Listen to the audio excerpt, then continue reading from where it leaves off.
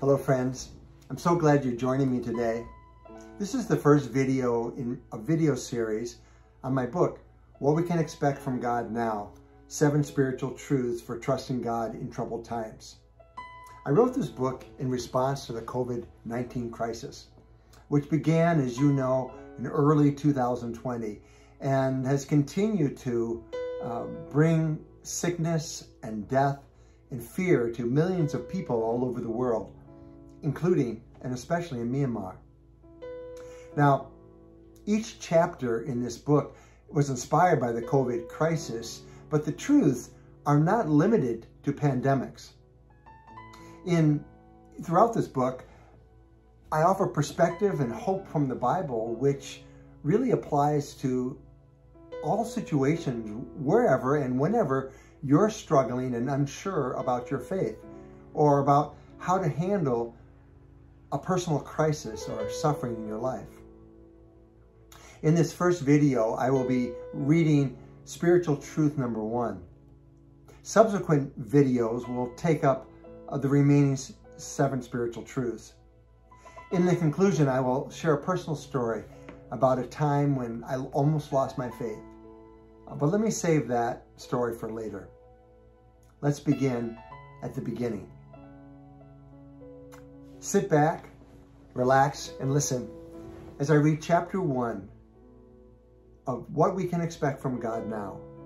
Seven spiritual truths for trusting God in troubled times. Spiritual truth one. Remember your limited ability to understand the will and ways of God. Take what God offers. Where is God? Why isn't God doing more to help us? Is God doing anything at all? If you're asking these questions, that means you care a lot about what's happening in the world right now. You believe in God and you believe that he could be of great help. Yet you're confused or, or frustrated or just scared. You're not perceiving God's presence or help as much as you need or expected it, and you want more. I often feel that way, and that's when I find myself leaning on the spiritual truths found in Scripture. These truths are as relevant today in these troubling times as they ever have been. So listen again to spiritual truth number one. Remember your limited ability to understand the will and the ways of God. Take whatever God offers. If we examine our expectations for God carefully, most of us will discover that we expect God to act in ways that fit with our ideas and our desires. They may be prompted by something we read in the Bible or something we heard a preacher say, but upon close inspection, many of us are wishing and hoping for God to do something that we want him to do. And what happens when God doesn't come through as we expected? Well, we're easily hurt or confused, distressed, and even become angry. So the question becomes, is God to blame? Or could it be our faulty expectations? Biblical writers repeatedly tell us that we should not be so surprised when God does not meet our expectations. The reason is simple. You and I cannot know or understand the mind of God. And God is often at work in ways that are unseen and can only be discerned in retrospect. What we need to understand.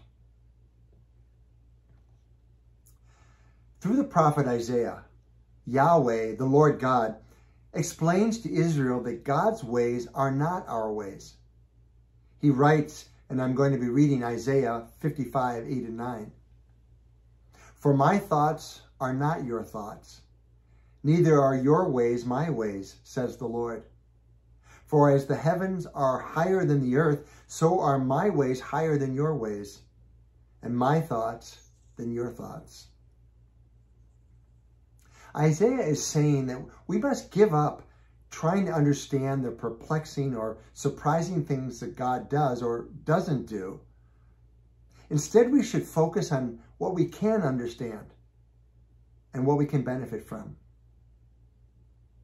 In this particular context, Isaiah is talking about God's desire to meet their core spiritual needs.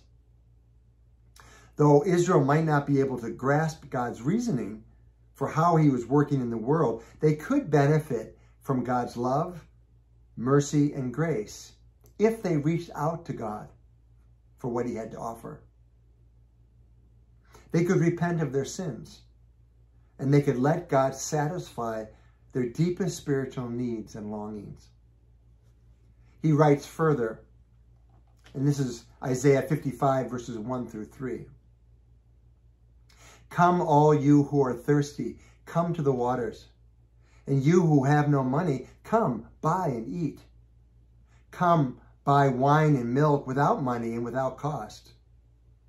Why spend money on what is not bread, and your labor on what does not satisfy?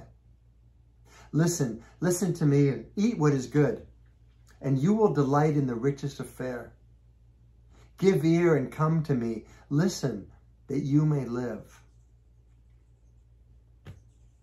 In times of distress, we may be so preoccupied with our fears and desperate longing for help that we miss out on what is available.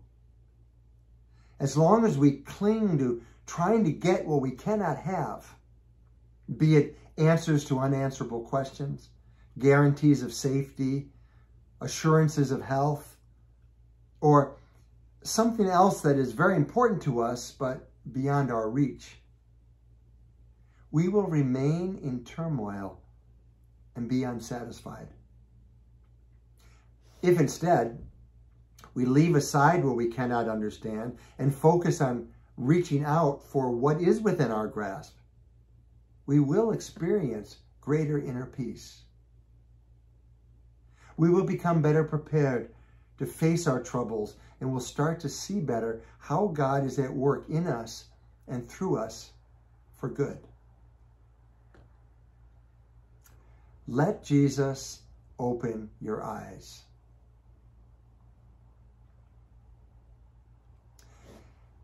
In the New Testament, we find the story of Jesus meeting two disciples on the road to Emmaus.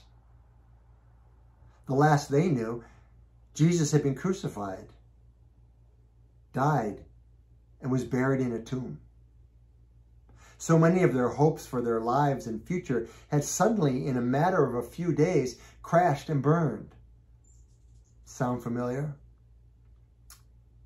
However, what they did not know and they could not see is that God was still very much at work in the midst of their crisis. Jesus had actually already been resurrected. God had inaugurated an incredible plan to bring salvation and hope to the entire world through Jesus' death and resurrection. Yet they could not see that. They were so swallowed up in their grief, they couldn't recognize Jesus when he appeared to them on the road.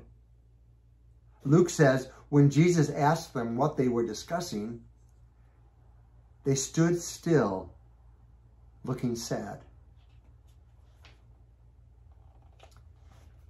In this time of crisis and uncertainty, beware of getting stuck on the road of life, stopped in your tracks with downcast faces, supposing that all is lost when life's events just don't make sense to you. And you cannot imagine how God could be part of what is happening.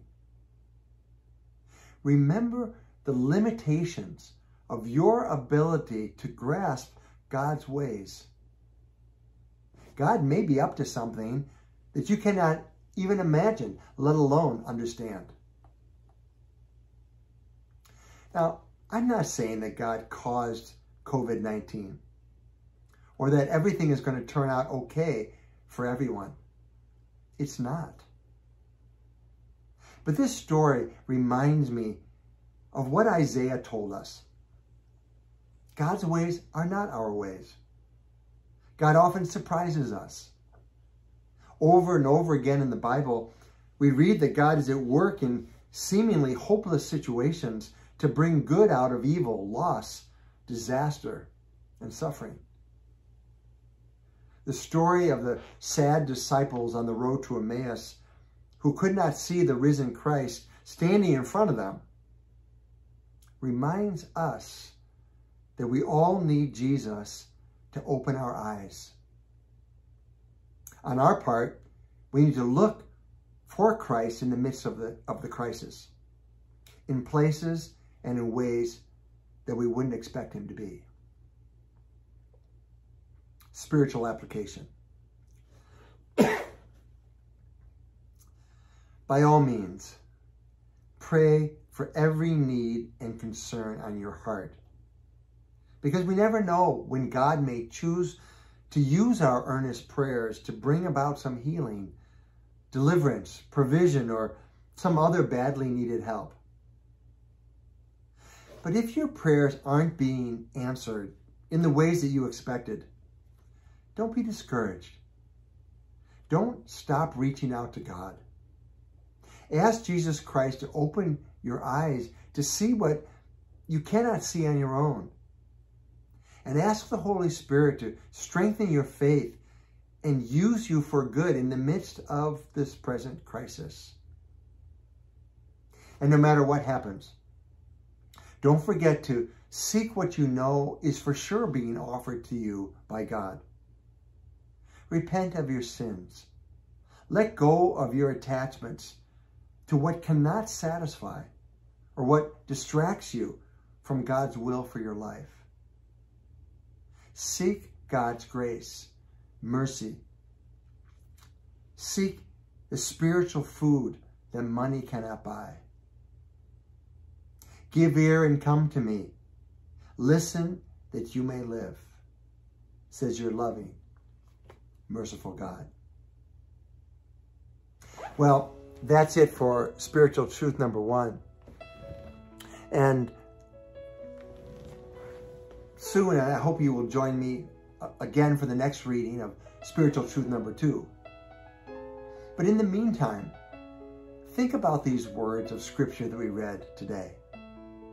Think about the hope that's held out to you through the Bible and, and through faith in Jesus Christ. Ask God to do inside of you what you cannot do in your own strength.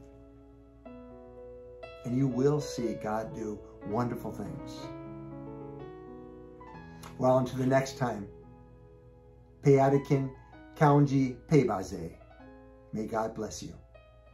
Amen.